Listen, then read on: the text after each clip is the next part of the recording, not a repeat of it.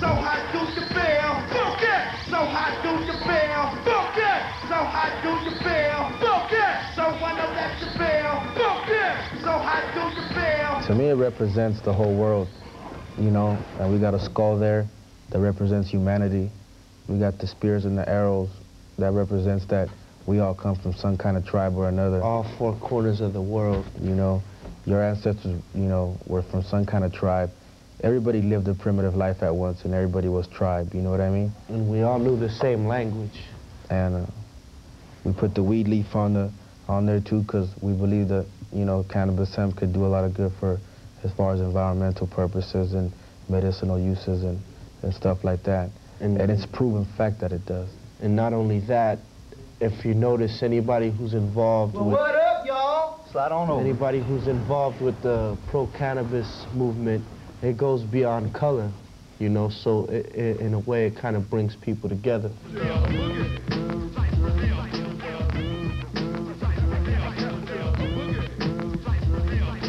I've always had white friends and, and Hispanic friends and stuff, so, you know, to me it doesn't matter what you are, we're all human. You know, we could all cool out together, and that's what the neighborhood's all about.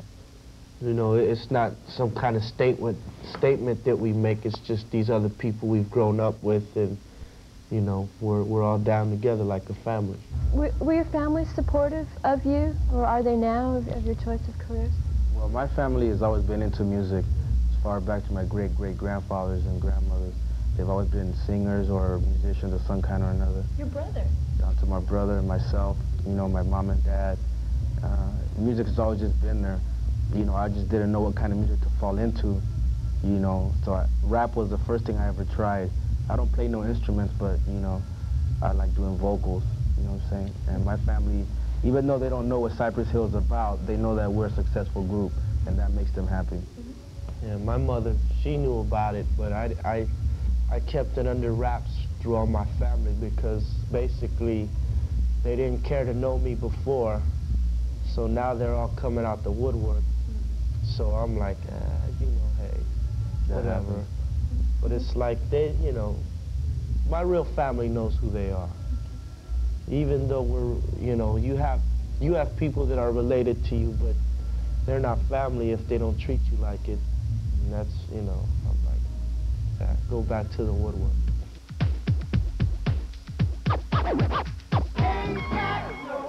He,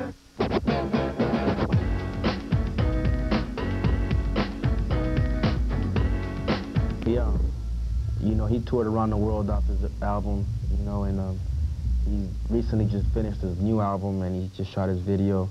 And all this stuff's gonna be dropping like next month. And, uh, you know, he's cool and he's got some nice songs on there. Um, Funky in the Joint, uh, uh, Funky Muñeca. You know him, he's on the bilingual tip, real heavy, so.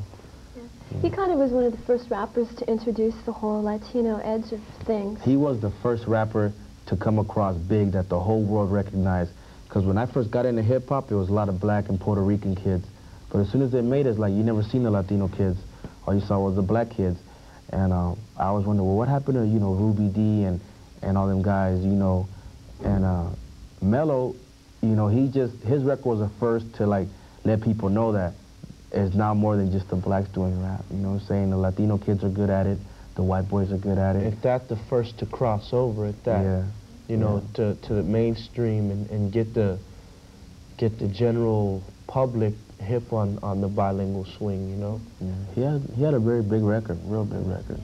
And did that filter through to you guys as well, with your that influence No, that's being there? totally different than what we where we're coming from. I mean, we're all from the same school, Mhm. and you know, he he taught Mello his bilingual skills, but as far as Mello's thing, you know, it that's Mello's thing. Yeah, you know, um, Mello, he's you know he's Mello. You know he's gonna stay where he is.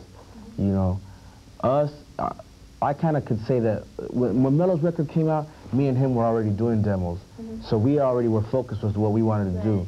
You know, and Mello was a part of our original group called DVX. That was us two and him, and he wanted to go solo. Then was like, you know, go solo. Then it's cool. You know, we're gonna go for ours. You know, and Cypress Hill, you know, we've been doing, we were doing demos for three years before a, a record company said, hey, that sounds good. Well, let's it's the alley cat puffing on a hootie man. Something I'm a criminal for show. You ain't all of that. Hit you with the baseball bat when you want to elbow. You want to f around, you get booked on the hill, bro. Kick you with the steel toe. Real slow hits from the bong make me feel like teaching. I'm kicking it with charm. Just like Cheech and Chong frying with ice cream. Cypress Hill is here to give you a nice dream. Speaking like a roller, so you know it's real tightly. I'm like the funky mix, so why you trying to fight me? Tex wanna sight me. That's not polite, G. Muggs had worked with uh, Joe the Butcher earlier in the 7A3 project, and um, they were friends and they knew each other. And when we were shopping our demos, we let Joe and Chris hear them, Chris Schwartz. They liked them, but not enough to sign us. You know, they thought we needed more, so they offered us a single deal, and we said nope.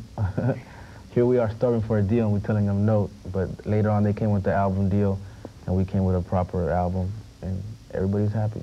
hmm At what point did uh, labels start chasing after you guys? They never did. No. They I like to say that a lot of labels slept on us. You know, Yeah. didn't think that um, my man B-Real's vocal delivery was, you know, on the cutting edge, that it could really get across. Or they maybe they didn't think that we were talking enough substance in our songs to get across. But Yeah. I, I think us three right here, we always had the faith that we could do something with our nucleus. It's a lot of A&R people that can't Yeah. relate to Yeah, where we, we we coming proved from. that you we don't need those record labels with the silly rabbits on them, uh, you know, down with us, you know.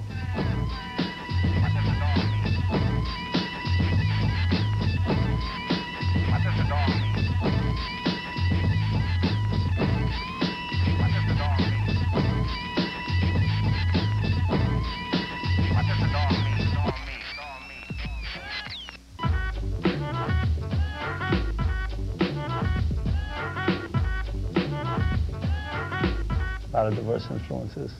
My records are all in storage, though. I got about five records at the house. For real? Yeah. So what are those five records? Uh, some old hip hop, some Rammellzee. I think I got a Jimi Hendrix album laying in there somewhere. Cypress Hill album, Public Enemy album. The- Most of the tapes we bring on the road are rock and roll tapes. That's all we listen to. It's old classic Black rock. Sabbath, Led Zeppelin, Hendrix. A lot of reggae. You know, we. Oldies. I tell you what, we listen to more of that than we do hip hop on the road, because we hear it enough at home and in the studio. And we're waiting for certain people's albums to come out now. Yeah. For EPMD to drop, Pete Rock, CL Smooth. I need some to listen to. Come on, man.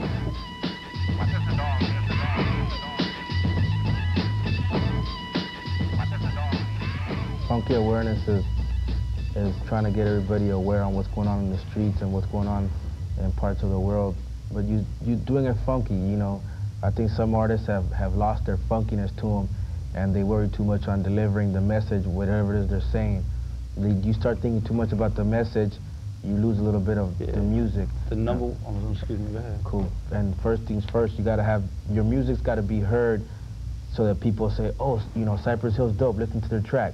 You know, the music first, and then what we're saying is gonna come along, and they say, oh, those two brothers rapping are dope. You know, so you gotta hit them first with the funky, you know, and then the awareness part. Don't matter who it is. It could be anybody. If they ain't got beats, nobody wants to listen to them.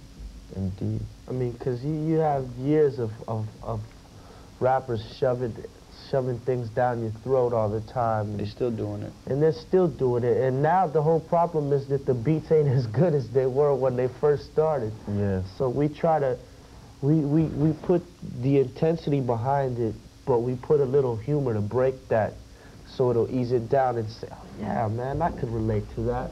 That was funny because that happened to me. You know? It's like nobody wants to hear, oh, I killed a nigga, chopped his head off, threw it down the toilet and flushed it.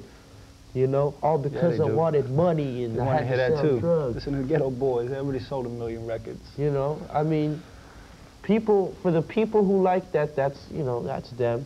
You know, that's, I guess that's their way. But, you know, we try to put, you know, reality with humor because, you know, when it worst comes to worst, when something bad happens to you and you think about it years later, you laugh and say, I can't believe that happened. Mm-hmm. You know what I'm saying? And that's, that's what we want to make people think. I can't believe I did that. What made me do that? Get, get, just get on up. Come on, just get on up. Come on, come on, get, get, just get on up. Yeah, just get on up. Yeah. Well, it's alley cat, some say dirty rat. On my side my cat. See I'm all that. Spitting out punk shots, but I'm gonna wet ya. Run and hide, but I'm still coming to get ya. Thinking like a peace mode, coming on a homicide. You talk Trying to take me for a ride, I'm not a bad guy, but I'm the, fucking Finger on the trigger when my hand's upon the steel. Letting out a bullet, it's just going booyah. Stuck in my hood, so what you gonna do now? Begin the hunting, but it's no fun. Here it comes, son, yo, I think you better run. Better run more and move a little faster. Second up the, and I'm coming to blast you with my start on shotgun. Hand on the pump, left it on the 40. Pump it on the block, buck my shotgun. The niggas gotta jump. One time for your mind, like this. What's going on in there? Really nothing. I don't know why the guy that did the video tried to give it a storyline when it's a freestyle round to begin with. Yeah, that that was some old record company He- business. the kid was like, the kid that did the video was like, he he just didn't want to do a freestyle video. We wanted to do it all in the alley with the trash can burning, the 40 ounces going, and uh, just rhyming and like the funny you know. effects, you know, like Yeah, when, but switching He- places. this guy, he came in with this whole Academy Award idea of his. With a hooker, I Yeah, we- police. I We did it all. I mean, and that's it. you He know. was good. I mean, he's he's real good. I great mean, work. Great work. The video looks good, but the storyline wasn't about. I mean, I put just a little fraction of a message in there, and he tried to put it. He tried to incorporate it more than it really was. Because I said something about a a, a, A a pimp, a hooker, and a stay off the crack mm-hmm. thing, right? And that was only like a little piece of the song. Yeah. And, but yet he incorporated a hooker, uh, a pimp, and another girl. A cop. and, and some pigs. And I'm like, yo. In a way, it's kind of cool, man. People were trying to figure out that video. You keep trying to figure it out. It ain't about nothing. Well, You know well, when people say, "What's the message in the in the pimp dead?" Right? Say, Stay off the crack. Stay off the crack and leave the hookers alone. That's the message I be saying. Lay off the crack and leave the hookers alone. Okay. That's our message in that song. Other than a good time. To all the funk stuff, like the Zapps and Rogers and you know all of that, you know Kraftwerk. So I think being funk, the funk, LA is like a, a funk-oriented town, you know. Yeah. And then you got your, your little, not, I, I call them bass heads, but they're not, you know, crack addicts. They're the ones that drive around, you know, boom, boom. You know what I'm saying? So I think you know you got that and that, and you put it all together, and you know sometimes a group that comes out of LA will like say, man, I don't really like them, but their music's good. You know what I'm saying? Yeah, see, uh, the, the whole difference between the funk and what goes on on the East Coast was that in, on the East Coast, it was always up into up-tempo type rhythms because of the breakdancing thing, you know? Yeah. It was straight hip-hop. And on the West Coast, we were more into popping before we got into breaking.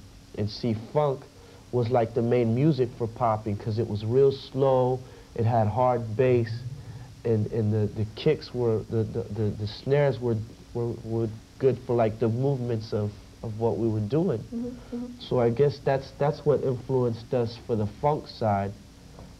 But you know, he was a break dancer. He's from Queens. So, you know, we kind of mixed both feels.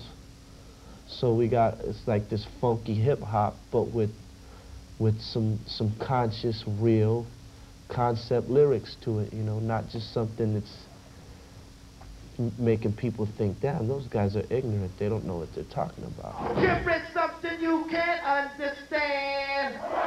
Well, it's gonna be a long time before I finish. One of the many missions that I have to establish a life must flip ignite you with the sight. So if you ain't down, yeah. So for your idol. What you call the one time to play the role model? No, I think you play like a song. Next year the shot of a magnum slug hits home man coming at ya. Now you know I'm gonna get ya. Here is something you can't understand. That it is. Was it? Did you get a lot of flack when you were first starting out? Because everybody didn't. It was like, wow, that's different. You know, the nasal No, style. It, either you, you liked it or you didn't. Yeah. That's how we said, well, we'll take it like how they take it, you know. It's because, you know, if when I when I rap, I rap, you know, it, it comes out as, as like that because when I get loud, you know. And I could only sound like that if I'm getting loud. If I'm talking low like this, I sound like this. So I try to speak low as possible so I don't get anybody annoyed like, shut up. I always thought it was on the with that. cutting edge. You know, his voice, I always thought it was like the next step of rap. I think, I always thought like nobody's doing this. And we come out with this guy's voice like that, and then the other background vocals and the slamming music. I, I always thought it was like, I thought we were kind of like a step ahead of people. But at the, and, and we were like a step behind because nobody knew about us. Yeah, Yeah. people call my house. Be there? Yeah, this is B. No, it ain't. And you, well, people that don't, you know, they call for the Yeah. first time. Nah, this ain't B. I said, yeah, it's me, man. Ain't nobody else here. And, you know, that, that's kind of cool because then I could always say wrong number. you know?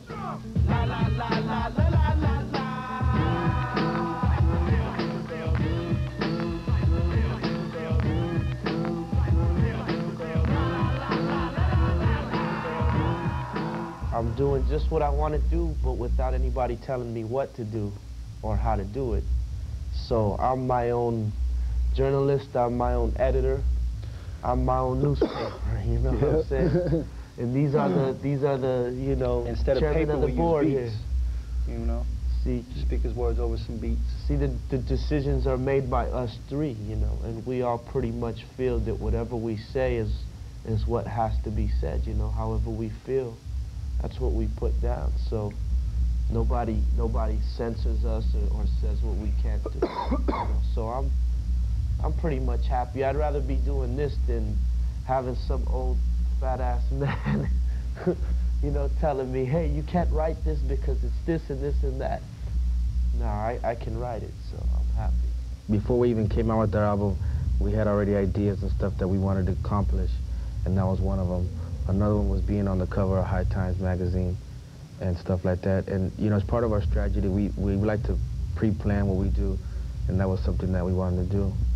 And, uh, on, on that were with it. particular subject anyway. You know, we, we always thought, well, they could help us in giving us the information we need to know, and at the same time, we could make them stronger by educating our audience what they're teaching us. So that, that was like, that was one of the only plans we really had, because we do everything on the field, but that, we always thought, well, damn, if we do that, we'll, we'll be, you know, we'll be in there. And um, What we, are some of the points that um, that NORML is trying to educate people about? Well, they're, they're chopping down rainforests at the speed of light. You know, you could grow cannabis hemp at, you know, at one, not even one third of the process that it takes to grow a rainforest. It takes, you know, like 30, 40 years to grow them trees. You know, hemp could grow, you could grow it 30 One feet high in six months. Chop it down and use the fibers for papers. For the same junk mail, they deliver to your house, you turn around and throw out. You know what I'm saying? newspapers and all that. hmm I mean, see, it's it's it's a bigger thing than than smoking. See, that's what the politicians and everybody tries to counter with. Oh, uh, you know, right away. If if we legalize it, there's going to be a bigger drug problem. How could there be a bigger drug problem? It's not a drug.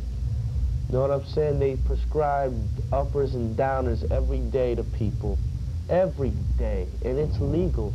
You got to realize that a government that's made of six, seven hundred people are gonna try to tell three, four, five million what to do, who to follow. You got to have some kind of say so for yourself. You know, what I'm saying, say no. Well, I think this is good, and this, and if you say this, I'd rather have my kid ask me, you know, Pop, these guys from Cypress Hill, you know, they're talking about weed. You know, tell me about it. You know what I'm saying? And instead of the kid going out and reading some newspaper about Cypress Hill, you know, which all they're doing is pointing a finger. A lot of times you don't get to do interviews like this where you can speak your mind. Mm-hmm. You know. Do you, do you guys see yourselves as role models? No. No? No, I just see us as some popular guys. Mm-hmm. I'm not no role model. I never have. I'll tell you right now, I used to be in a gang. I went to jail a gang of times. What's that? What kind of role model is that? And just because I'm, you know, I'm doing music now and we're good at it, that shouldn't make me a role model. It should make Ice Cube a role model. You know what I'm saying? They make us to be the role model. When when the parents can't do it and when everybody else can't do it, they look at us Mhm. for the mistakes that their kids make. And they say, well, they got it from them, You know? you know, and it ain't us because it starts at the home before Yeah. anywhere else. I That's mean, dark. music influences people only to a point. You know what I'm saying? What a person does, that that's strictly it starts from the home or from influences out on the street. You know, they, they put they put all that on us. That ain't right. Because I'll tell you what, when I grew up, I was not influenced of, of my wrongdoings from music. It was the people around me and, and, and the environment. So when you point the finger at us, it just makes it makes you look ignorant. Make some noise for the Cypress Hill, y'all. That's Rio Tinto Rock, Canada. Woo! We speak for people. We don't, you know, we don't try to tell them what they should or shouldn't do because nobody wants to be preached to. You know, We just we tell you speak what we do, how things go on where we stay, and people can relate because it's happening just about everywhere. Mm-hmm. Same thing, kids going through what we going through. You know, See, we're like we're like their voice, you know. I mean, 'cause I know somebody preaches to me, I don't want to hear it. But if they're telling me in a manner where, like, yo, I've been what you've been through, man, you know. It's it's what we do is music to make people think about what what what they're actually doing